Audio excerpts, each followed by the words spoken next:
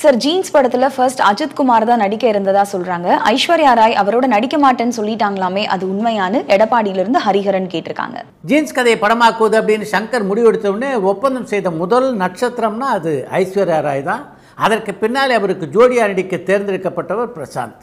அவரை தவிர வேறு யாரும் சங்கருடைய சாய்ஸாகவே இல்லை. அப்படி இருக்கும்போது வலைதளத்தில் முதல்ல சங்கர் அப்பாஸை கேட்டார் அதுக்கப்புறம் அஜித்தை கேட்டார் இவங்களுடைய படப்பிடிப்பு தேதிகள்லாம் இல்லாத காரணத்தினால் தான் பிரசாந்தை அவர் ஒப்பந்தம் செய்தார்னு எப்படி செய்திகள் வெளிவந்து கொண்டிருக்கின்றன என்று தெரியவே இல்லை அப்படின்னு சொல்கிறார் அந்த படத்திலே பணியாற்றிய இயக்குனர் மாதேஷ்.